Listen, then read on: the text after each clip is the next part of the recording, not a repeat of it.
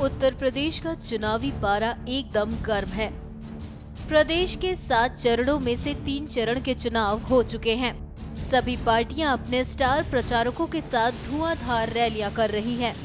डिम्पल यादव भी इन्हीं स्टार प्रचारकों में से एक हैं, जिन्होंने समाजवादी पार्टी को जीत दिलाने के लिए कमर कस रखी है और लगातार चुनाव प्रचार और रैलियों को संबोधित कर रही हैं।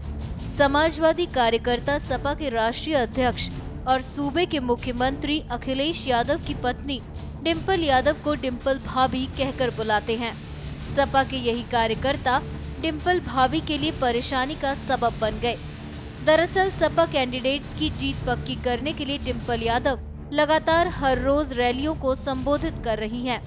इसी क्रम में सोमवार को डिम्पल यादव इलाहाबाद और हंडिया में जनसभाओं को संबोधित करने पहुँची थी, जहाँ पर उन्होंने केंद्र सरकार और प्रधानमंत्री नरेंद्र मोदी पर जमकर हमला बोला।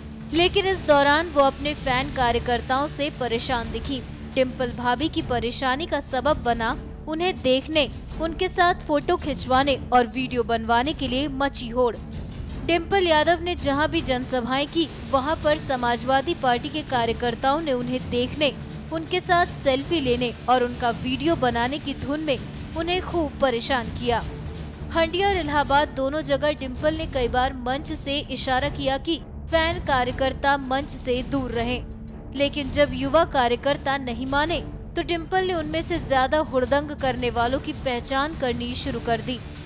डिम्पल ने पहले उनसे उनका नाम पूछना शुरू किया और कहा कि, आपका नाम मैं भैया को दूँगी। एनएमएफ न्यूज़ की रिपोर्ट।